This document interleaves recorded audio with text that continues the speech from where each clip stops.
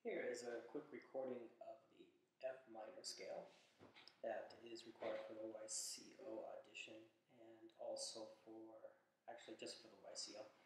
So I'll play it kind of uh, slowly at first and then I'll play it slightly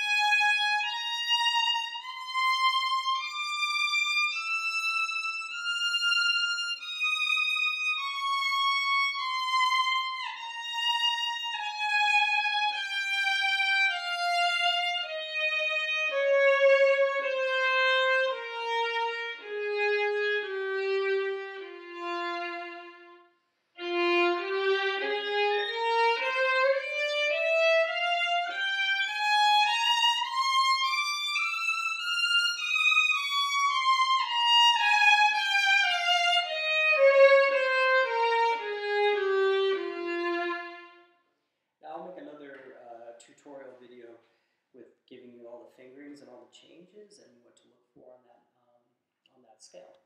But I thought I'd give you a recording of just playing the scale of full view. Thanks much.